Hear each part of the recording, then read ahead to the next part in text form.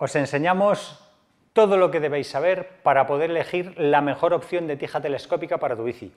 No os lo perdáis porque aquí vamos a enseñaros mucho ciclismo.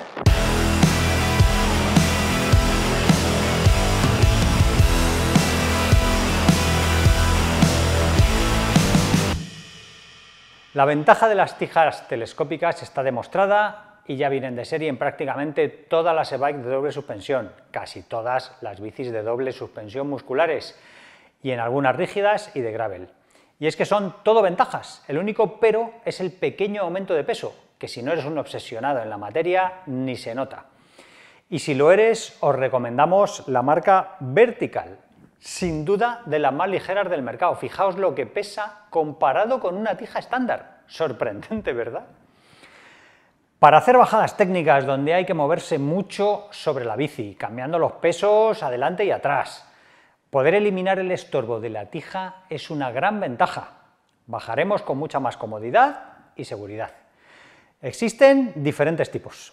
En cuanto al sistema interno, hay dos tipos. Hidráulicas, que funcionan con cartucho de aire y aceite, necesitando mantenimiento al igual que las suspensiones, y por otro lado, las de cartucho cerrado, muy fiables y sencillas. Funcionan igual que las sillas de oficina o los maleteros de muchos coches.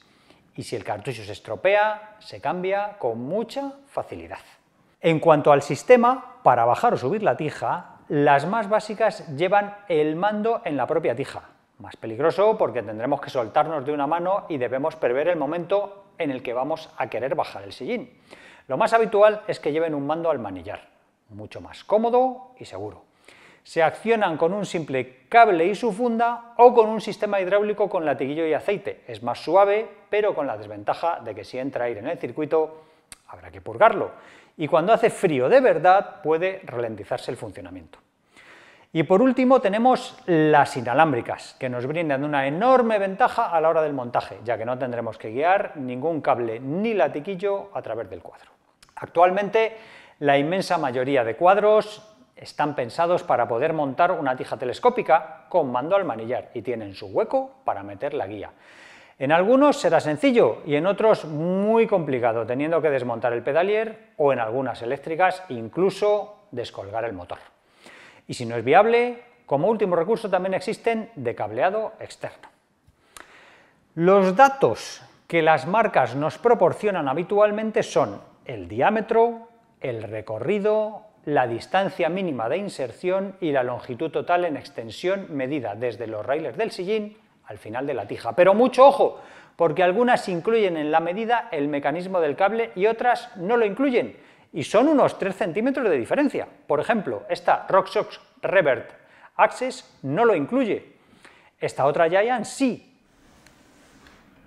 y este otro modelo también de Giant no, así que prestad atención porque el dato correcto de la longitud total de la tija debe incluir siempre el mecanismo.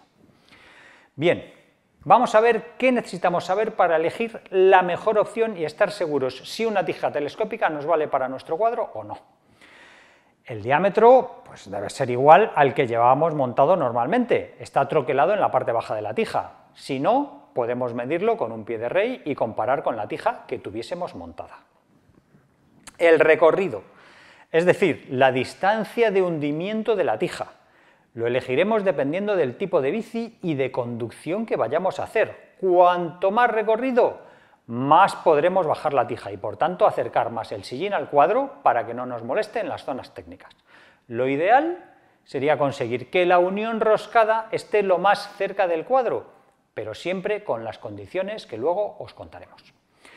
También tened en cuenta que cuanto más recorrido, más pesada, porque el cuerpo y la barra serán más largos.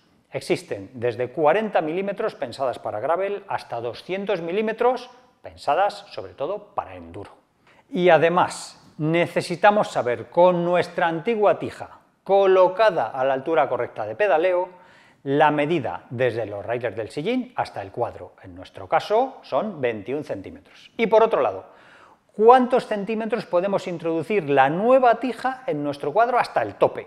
La mejor manera de medirlo es meter nuestra tija antigua hasta que tope y no entre más. Marcamos con un trozo de cinta y medimos, en nuestro caso, 24 centímetros. Ahora, Con estos datos, la tija, como os decíamos, tiene que cumplir dos condiciones imprescindibles. La primera es que, con la tija telescópica metida a tope en el cuadro y en extensión, la distancia de los raíles del sillín al cuadro tiene que ser inferior a la que teníamos con nuestra antigua tija estando a la altura correcta de pedaleo, o sea, deben ser menos de los 21 centímetros que medimos antes. Si no, nunca podríamos obtener nuestra distancia ideal de pedaleo con la tija extendida, se quedaría más alta, sin solución ninguna. Y no es que no se pueda pedalear sobre una tija telescópica no extendida del todo, claro que se puede. Por ejemplo, lo haremos a la hora de una subida extrema, o en terrenos técnicos de sube y baja donde hay que pedalear de vez en cuando, pero no queremos llevar la tija arriba del todo para poder afrontar las cortas bajadas con más seguridad. Pensad que el mecanismo de la mayoría de las tijas bloquea del mismo modo, tanto si está extendida como si no lo está. Pero sí es fundamental que coincida la altura de peladeo ideal con la tija extendida por pura comodidad. Si cada vez que desbloqueamos la tija para que suba tenemos que estar viendo a qué altura vamos bien pedaleando, pues es un engorro tremendo y no es operativo. La idea es que accionando el mando, la tija suba y se coloque justo a nuestra distancia ideal de pedaleo. Y si queréis saber cuál es la altura correcta de pedaleo, no os perdáis el vídeo tan completo que hicimos aquí. Y la segunda condición es que la parte no visible, la que nos va a quedar dentro del cuadro, debe estar entre la mínima inserción que nos indica el fabricante, imprescindible por seguridad, en nuestro caso 10 centímetros, y la máxima que hemos visto antes en nuestro cuadro, los 24 centímetros.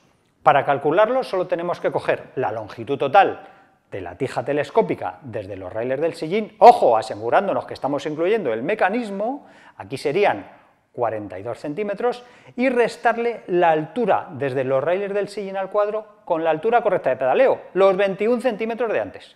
El resto quedará dentro del cuadro, o sea, 42 menos 21 igual a 21 que está entre los 10 de la mínima inserción y los 24 de la máxima, así que nos vale. Ahora, si la medida que nos sale estuviera cerca de la máxima inserción medida en nuestro cuadro, debemos de tener cuidado, porque si el guiado del cable al salir del mecanismo tropieza con algo, por ejemplo, un tornillo de portavidón o alguna curva interna de carbono, la tija, al tener instalado ya el cable y la funda, no bajará del todo y nos quedaría unos centímetros más arriba de lo que hayamos calculado. Y si el final de nuestra tija topa con una curva muy cerrada o un paso de amortiguador en horizontal, necesitaremos más centímetros para que el cable no se aplaste. Si el cable queda aplastado o forzado, no funcionará correctamente. Estas situaciones son más probables que ocurran en cuadros de talla pequeña. Y un último detalle, algunos modelos como esta On-Off, esta Giant o esta Trans X permiten reducir el recorrido pudiendo ajustarlo muy fácilmente de 5 en 5 milímetros. Con toda esta información ya podéis elegir la tija que mejor se adapte a vuestra bici y estilo de conducción. Y acabamos con una sonrisa. Dice, siempre hay que preguntarle al 2 y al 3. Dice, anda, ¿y eso por qué? Dice, porque uno nunca sabe. Muchas gracias por escucharnos. No olvidéis suscribiros y dedicad un poco de tiempo a ser felices. Si es posible, que sea pedaleando. Os esperamos en el próximo vídeo. Me empiezo a reír un poco antes. Pero bueno, yo creo que ha quedado bien.